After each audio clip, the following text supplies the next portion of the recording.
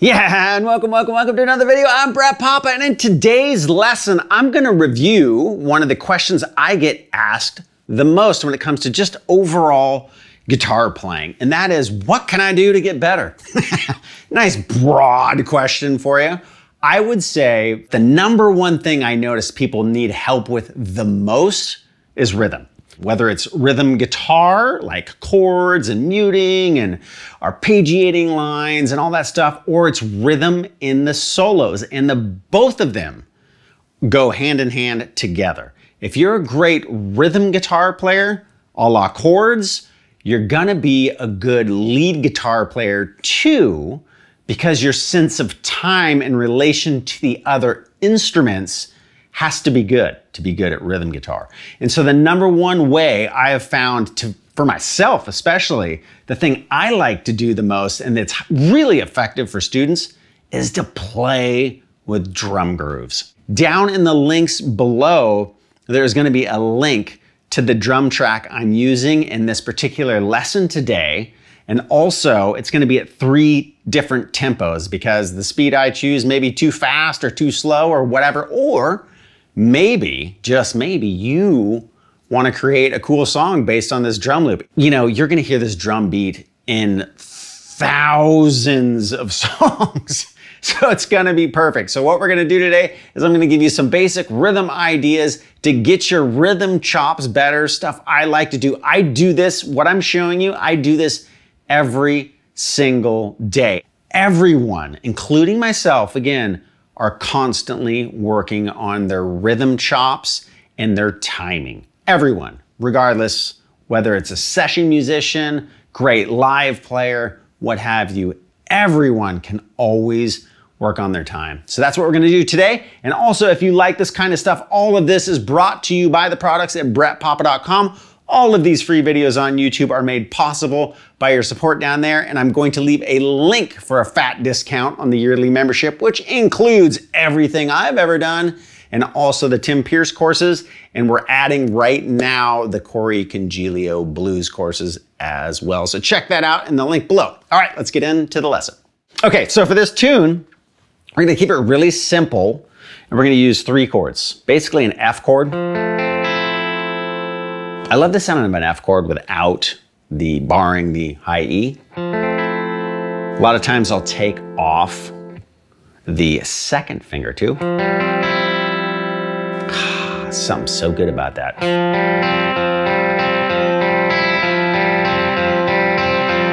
Love that. Regular C chord.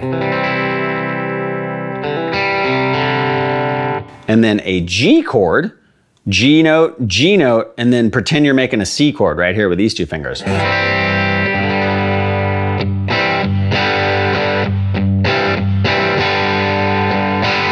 Now the cool thing about that is it leaves you open to do a lot of little riffing.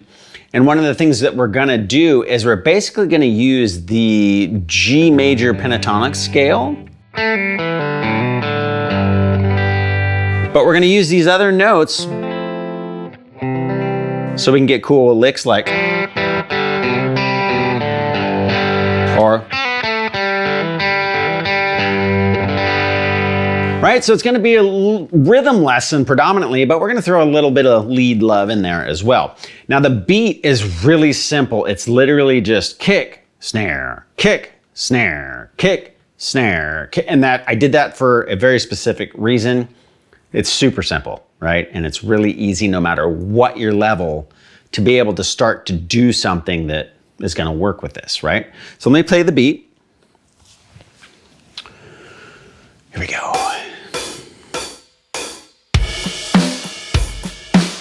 Okay, so as you're hearing, kick, snare, kick, snare. Then there's hi-hats. One,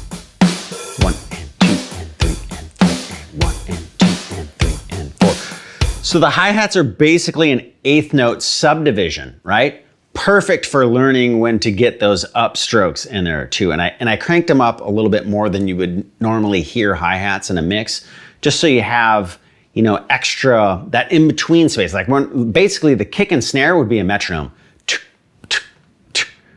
But it's so much easier when you have something in between those two big notes, right, or beats. So, right? So you can really start getting those upbeats down. Now, if you're like just like day one rhythm guitar playing, let's do this. Let's just strum on a G chord, right? Here we go.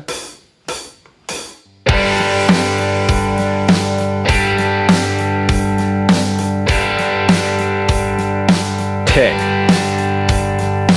kick,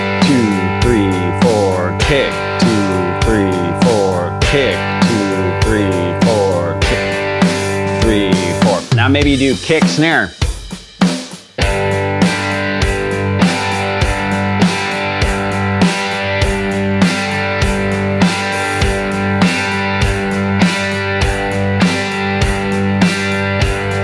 Maybe it's a downstroke and an upstroke, right?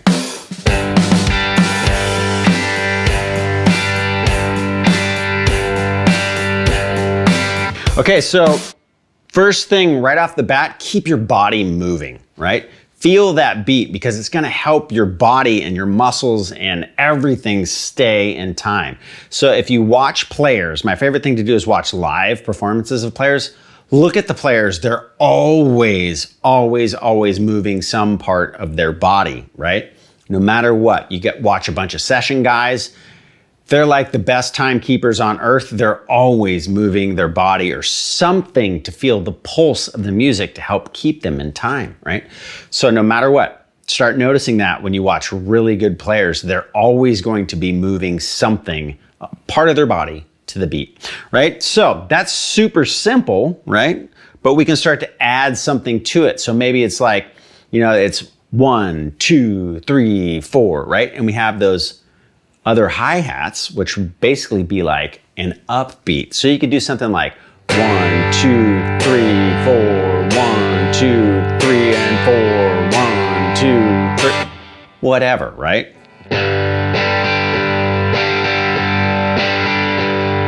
Right, let's try that.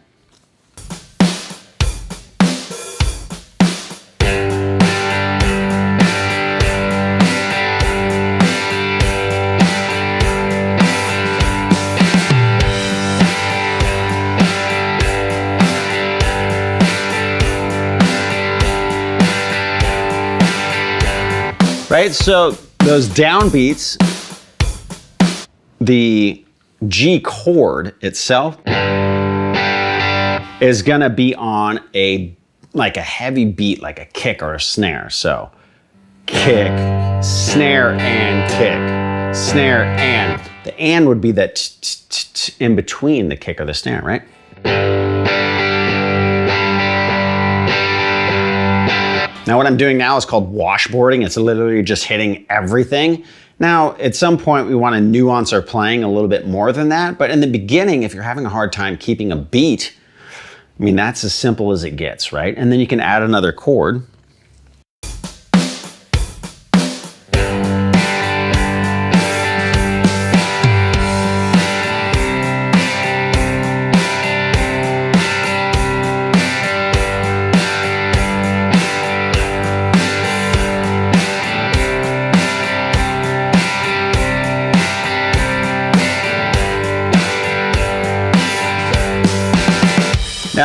Other thing that we can do is we can just palm mute, right? So again, those upstrokes, before I move on, is just on that and in between the kick and the snare. One, two and three, four and one, two and three, right? So forth. So another thing that you can do is just mute like the bass note of a chord. Here we go.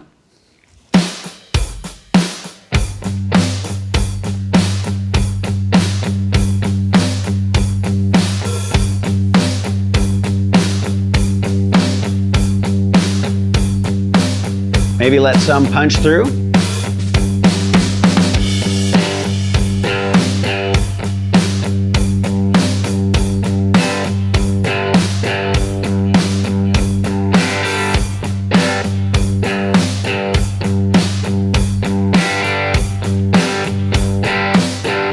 Now check this out. You can accent those notes to a certain degree. I can put more emphasis on certain notes, right?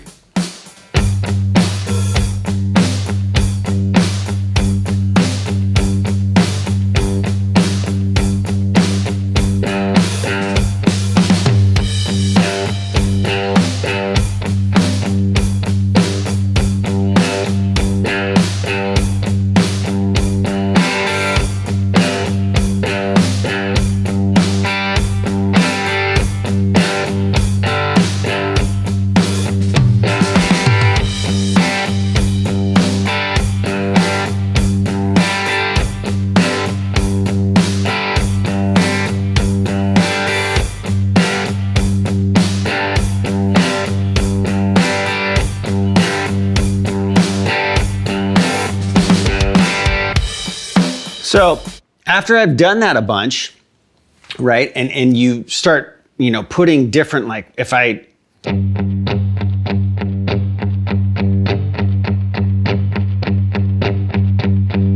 see on that I'm, I'm creating kind of a pulse, because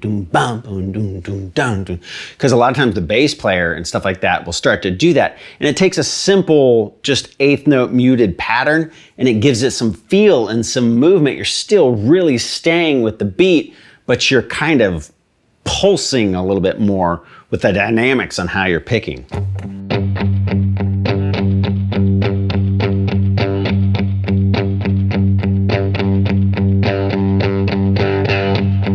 Maybe you're letting it a little less muted and a little bit more ring through. But the trick is staying on those. Don't let those notes ring past the hit, right? You want to be right. You know, you don't want to be. There's certain times when you can do that, but if you're trying to create kind of a suction tight groove, you want to make sure that the notes aren't really ringing past those hits be it a kick or a snare or the hi-hat, right? They're short, so it's creating that space where there's a hole where there's no real sound coming in. It creates like a whole thing happening, right? Now, one way, once you start getting good at that, to break it up, right? So we were just playing on that G, right?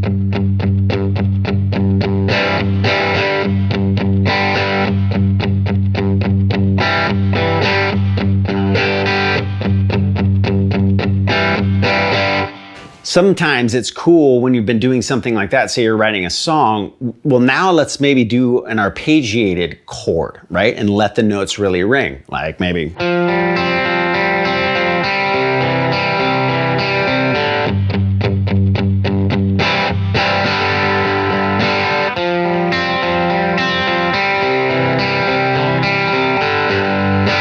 Right? And maybe you add a little note in there. So all I'm doing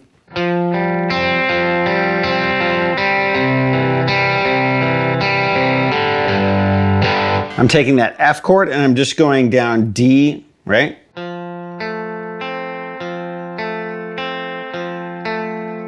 So I go straight down the chord twice. And then on the third time, I just go to the G. Same thing on the C. So maybe it's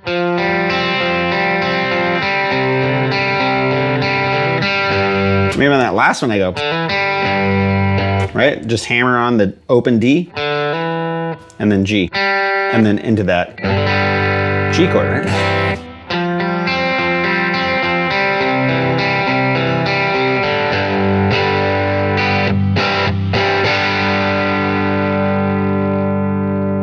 Okay, so why don't we try something like that with the beat, right? We're gonna do a little palm muting, some stabs in there, and then we're going to do an arpeggiated chord, right? So here we go.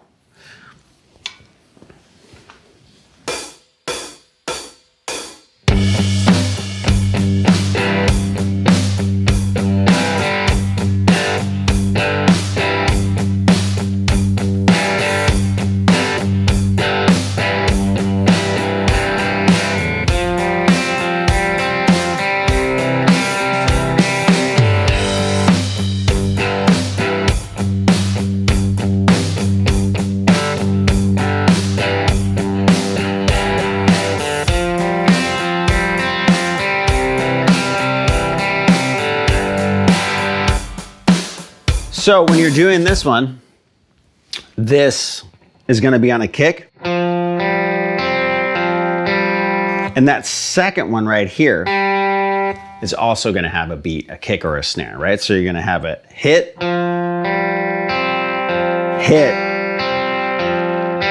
So listen for that to make sure that your arpeggiated line, you're still paying attention to those doom, da, doom, da, because you wanna be syncing up with that kick and snare. Rhythm is everything. I work on it every day. I'm not the world's greatest rhythm player. You know, it's it takes practice. You know, all these guys, these session guys, all these people that you hear, right? These incredible players, they practice, practice, practice. They never stop practicing. The session guys are great because they do it 12 hours a day. They are playing to a beat of some kind, whether it's a click or it's a drummer or what have you. There's a constant practicing parts to a beat. And it is just so awesome to be able to really finally learn how, even if you're a novice, right, but can keep time, you're gonna have a great time in a band. People are going to love you in a band if you can keep time, even if you're not a lead player or whatever.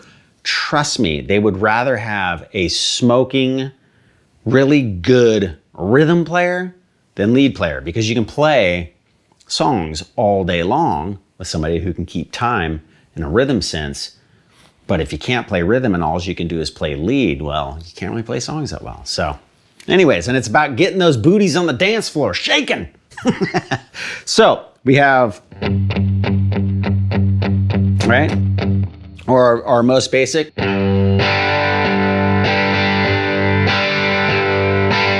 Let's practice all the different things we can do.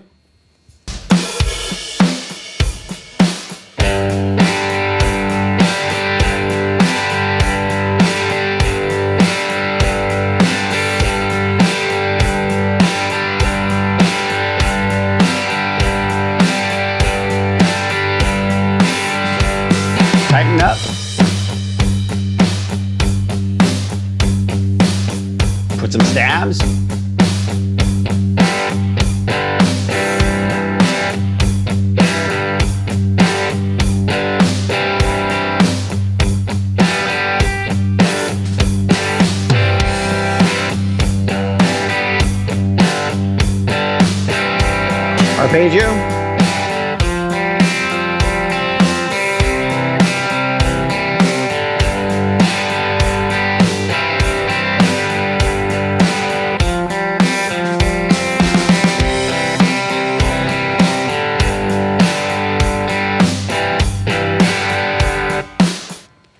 So it's not perfect, right? I'm still practicing it too.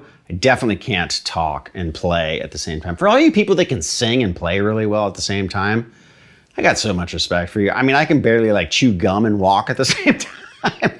but to sing, like be in key and play really good, you got skills. I'm just saying it like it is, right? You get like James Hetfield, how on Dave Mustaine, how on earth can you do stuff like even like John Mayer? My God, like the acoustic parts and all that stuff. A lot of respect. So, anyways, these are all different things that you can do. Now, once you get that kind of under your belt, then you can add some of those fun little things in there, like the little kind of rhythm fills that would be like.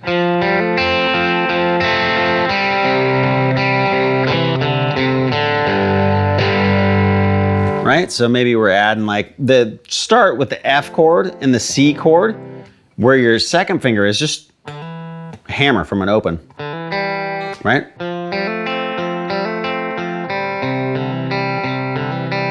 Now that is basically going to be like that. Tick, tick, tick. You're going to be able to hear that, right? So here we go.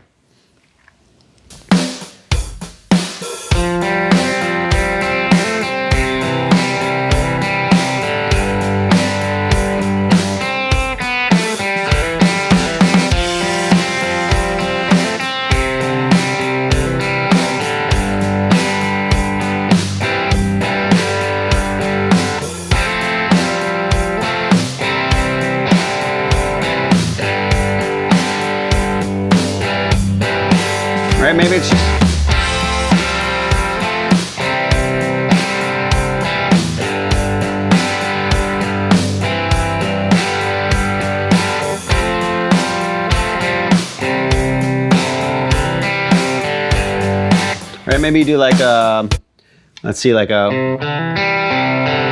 right, so that's a open on the D, hammer two.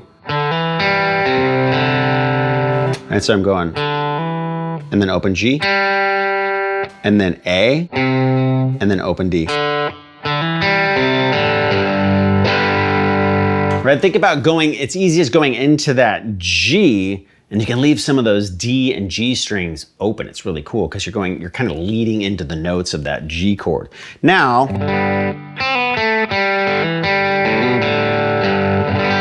all that kind of stuff. Second fret. Right, you have these notes. You can hit multiple notes at the same time. So you could do like a G.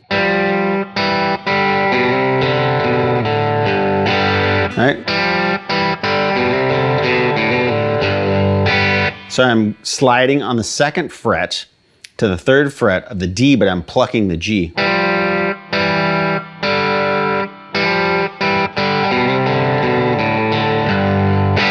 So little licks like that, starting, once you get the feel down, start trying to add those things. Again, keeping time, right? So let's try that.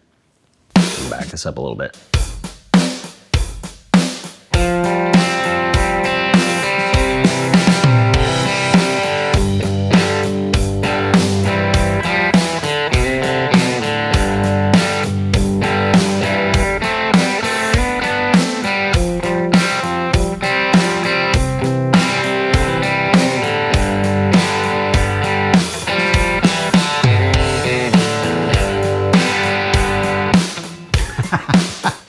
See, it's all about practice. So, uh,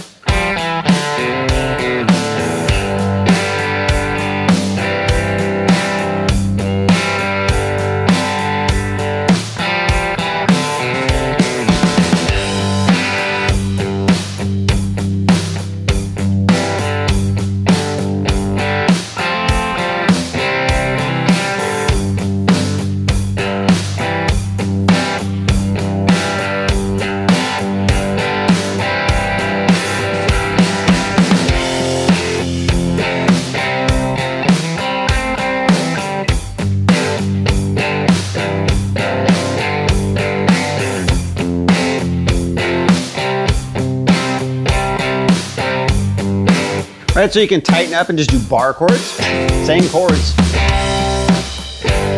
Right, different feel.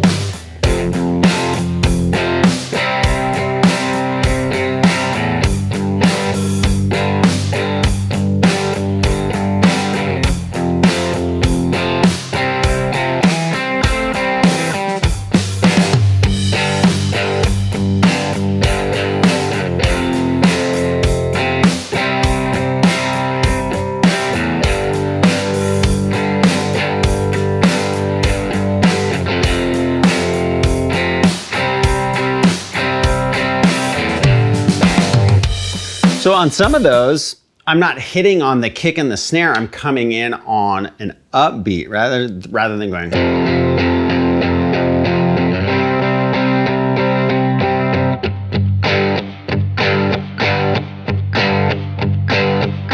Right, and I'm using that hi-hat in between that kick and snare to punch in on an upbeat.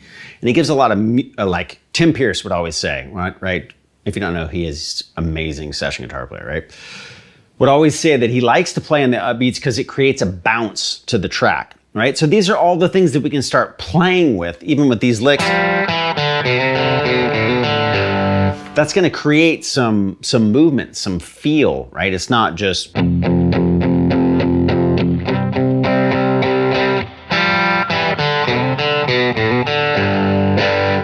It's got some bounce to it, right? And if you do upbeats, right?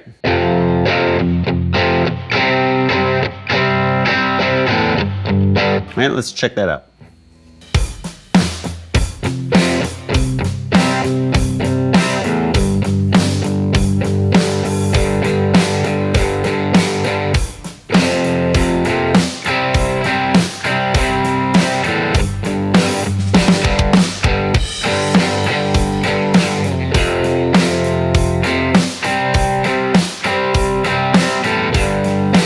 Right, see how that has more feel than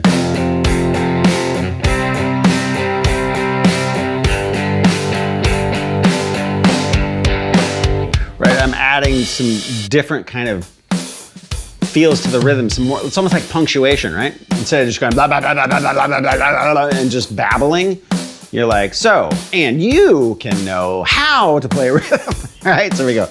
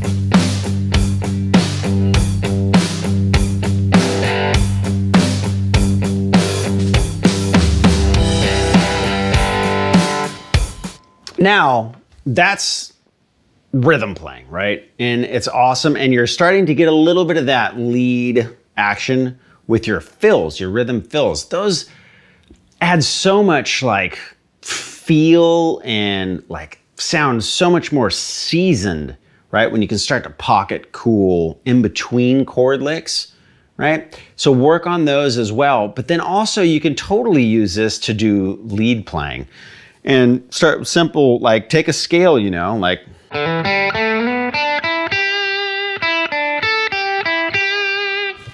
And take maybe that, that G major pentatonic scale and try to pocket in some, you know, lead licks.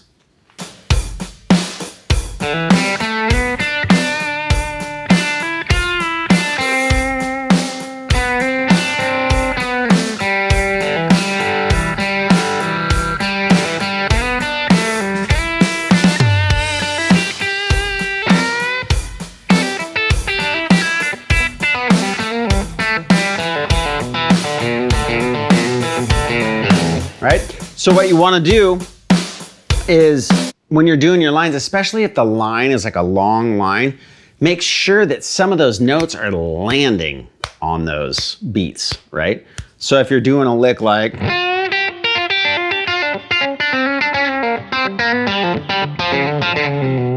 right, you wanna make sure that you're still paying attention. Now you don't always have to do this, but if you're using this for an exercise to keep time, Really make sure that you're feeling where those notes are, those kicks, snares, and hi-hats so you can stay in time or pocket with this stuff. So let's try some random ideas.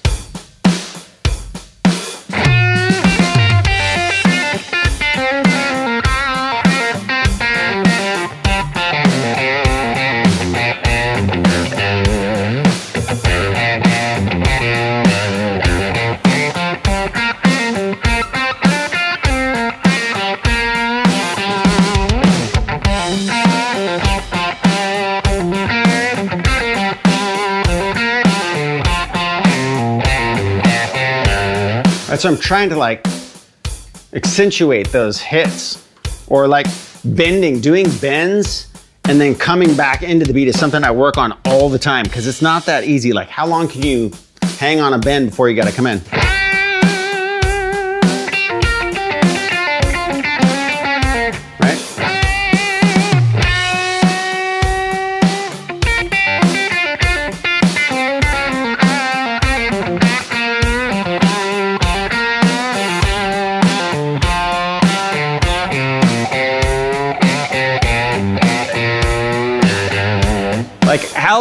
How greasy can I make that bend? How long can I like just pull on that bend and before I come back and really am trying to add something to it or, or like trying to bend and do vibrato kind of with a time, right?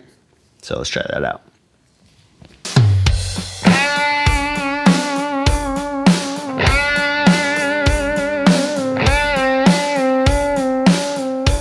Right? So maybe it's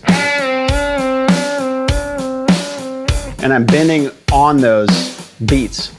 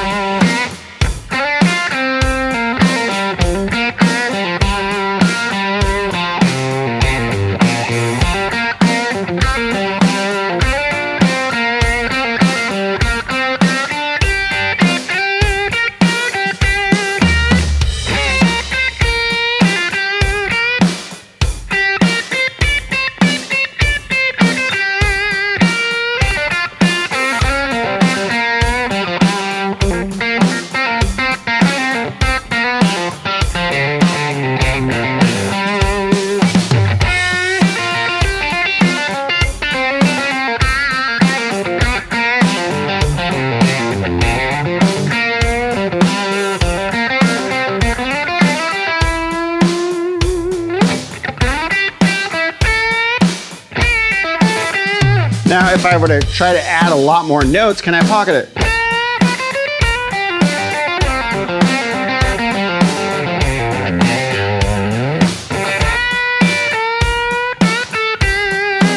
Right, so.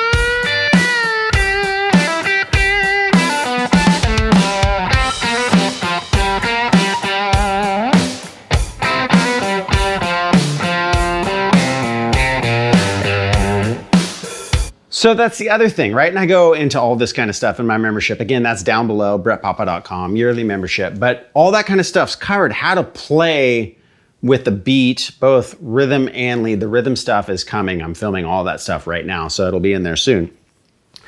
But it's gotten me thinking like this is everything, you know, because I've been sitting around here playing for hours every day now, just going like, this is the most fun thing ever because then all you have to do once you get good at a simple drum beat is just change the beat, right?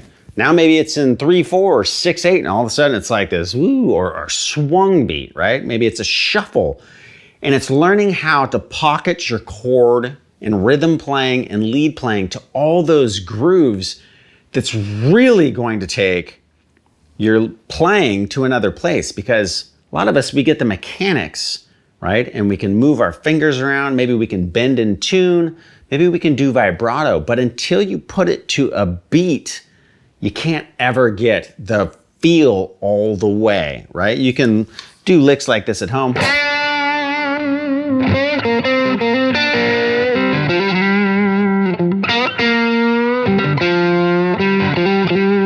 Like I can work on getting that feel, those little note tweaks.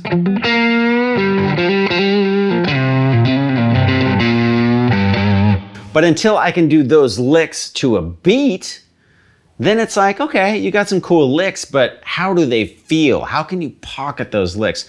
And that's, I think, the next frontier for guitar players in the intermediate space. If you haven't done this, or if you're wanting to be in a band, you're a young kid, or maybe, you know, you're, you're like sitting on your retirement, like, it's time to get in that band. I always wanted to. Well, sweet. Now, how are you going to do that? How are you going to show up to that audition with friends that maybe have been playing in bands for years? What's going to make them want you to be in the band? I'll tell you what's going to make them want you to be in the band is if you're a freaking rock solid rhythm player. Number 1.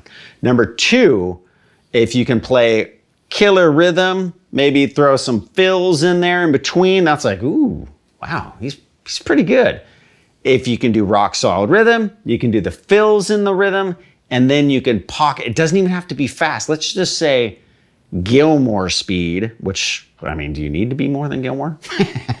Gilmour speed blues licks pocketed with the band. Dude, you're, or dudette, you're in. Like, you're hired. Let's go play. Right? Here's the song list. Bam, there you go. I mean, unless you're playing like, you know, Van Halen, and all that other kind of stuff, which again is just the same thing with more practice and repetition. So you can, you know, the beats are a little faster, phrasing's a little swankier, like, but it's all based on the same thing and has the same starting point is getting that drum groove. You know, again, I'm gonna have tons of this kind of stuff in the membership with all sorts of different feels, like just tons and tons and tons and tons of different drum grooves. All that kind of stuff is coming soon because it's like, this is what everybody should be learning really to get their playing up to you know, creating songs, being in a band, being able to improvise well, being able to sit in in a situation with the band, whether it's like, hey, come up and jam, and just being so comfortable with playing with grooves that you can automatically, you know, fit in with the band and feel the groove that the band's playing. You know, maybe that they're lacking a little bit, but you can match the drummer, right? You can like feel where he's at. It's like, okay, maybe he's not the most pocketed guy on earth, but if I can play with him, and listen to what he's doing and fit into what he or she is doing, that's going to make everything sound better. Then, if you get into a band with like some real heavy hitters, and they're like, come up and jam, you're going to feel what it really feels like to have an amazing, you know, rhythm section behind you. And if you can like seize the day and play really well with that, you're going to have more fun than you've ever had in your life. All right, so Thank you once again for joining me here at BrettPapa.com. Well, I say BrettPapa.com, but the Brett Papa YouTube channel. Make sure to subscribe and click the bell. Again, the drum tracks are going to be in the description box below. I'm also going to leave the yearly membership link below. Maybe there's going to be a little discount in there. You got to click the link to check it out. I don't know, could be. So check that out. Again, that's all of my courses. And then that also has got the Tim Pierce and the Corey Congilio stuff is being added right now as well too. So all that comes into the membership. There's like, I don't even know how many videos now. There's over a thousand videos, I think, with all this stuff that's going to be in there soon. So it's plenty for years to come. You guys are amazing. Thank you so much for the continued support. We'll catch you next time.